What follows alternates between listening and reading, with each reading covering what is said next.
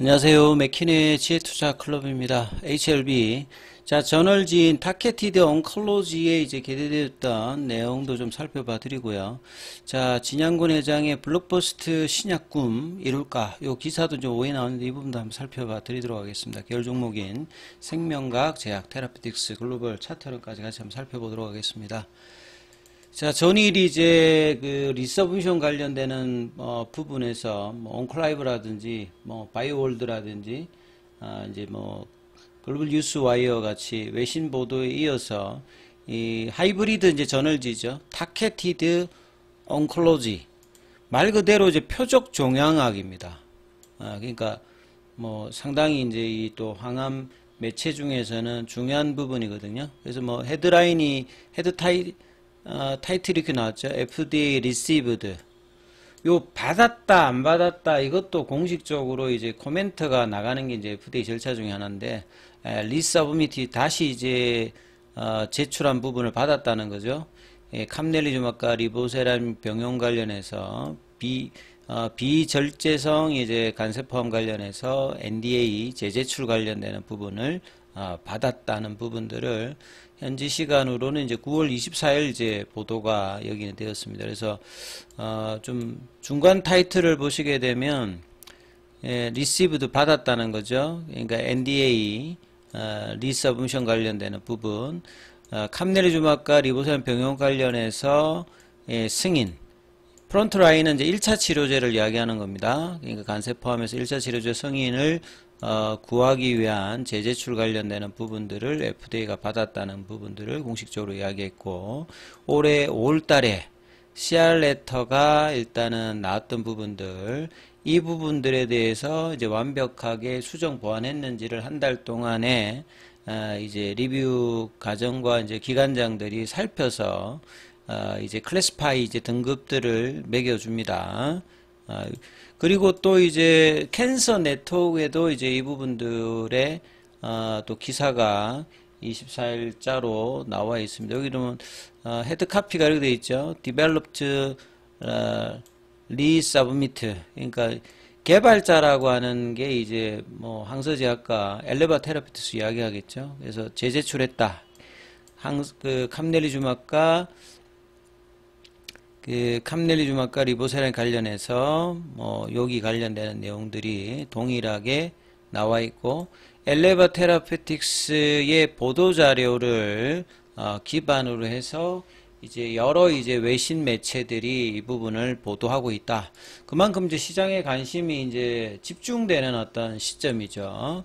그리고 이제 어, 10시 이제 넘어서 나왔던 기사를 하나 살펴봐 드리도록 하겠습니다.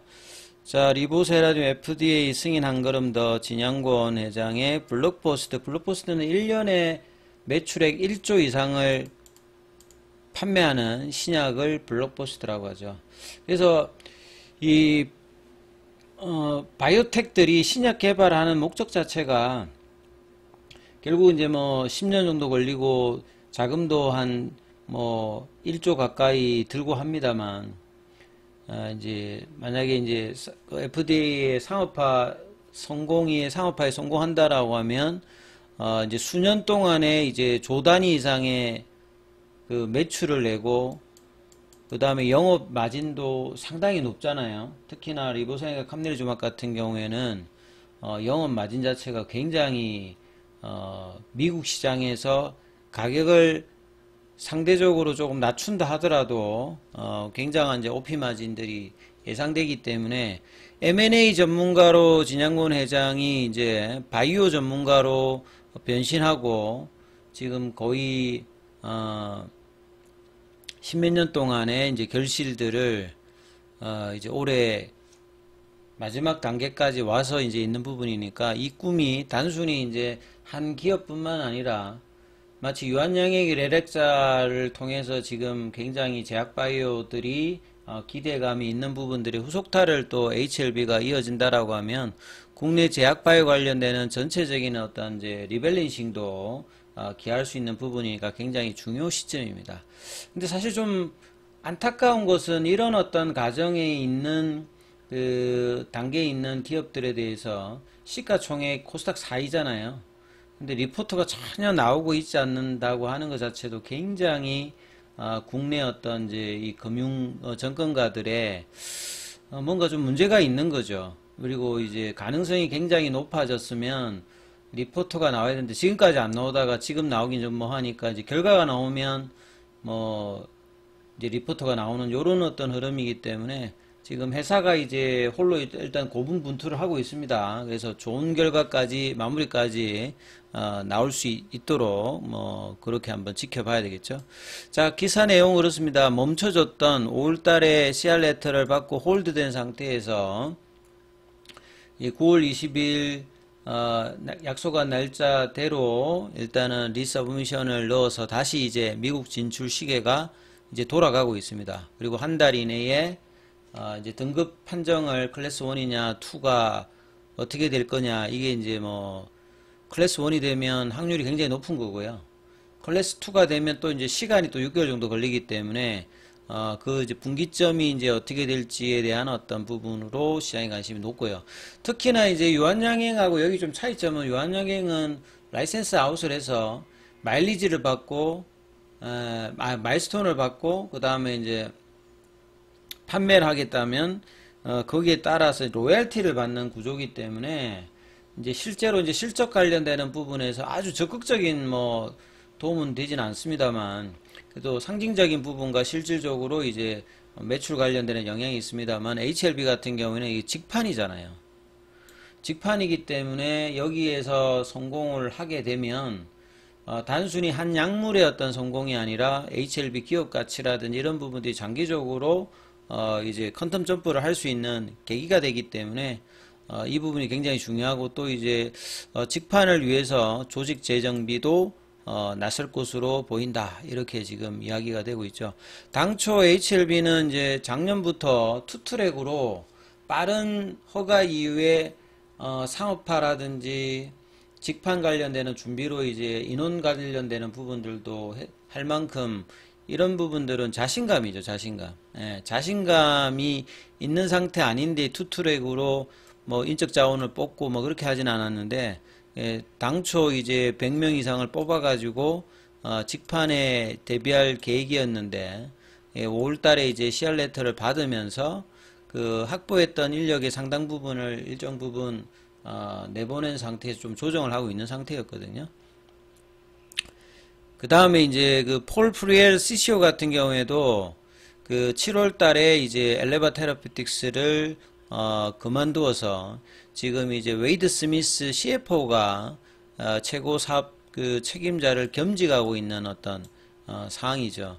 그래서 빠르면 11월 달, 늦어도 내년 3월 달에 이제 최종 FDA 결과를 허가 여부를 알 수 있는 어떤 상황에서 이제 영업 인력 확보도 다시 한번 어, 재개할 것으로 일단 기대가 되고 있습니다.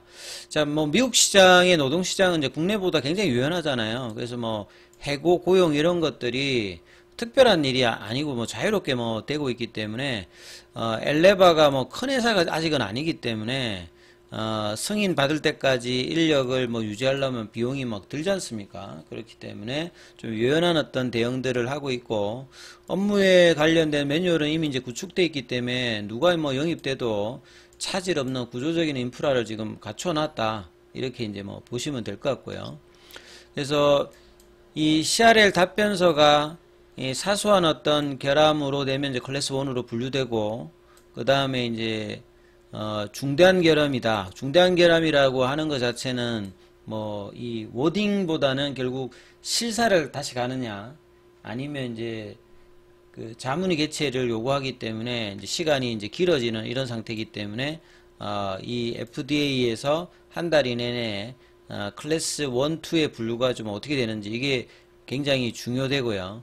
그 다음에 이제 분류할 그런 이제 억셉턴스 레터에 포두파 일정도 잡힙니다.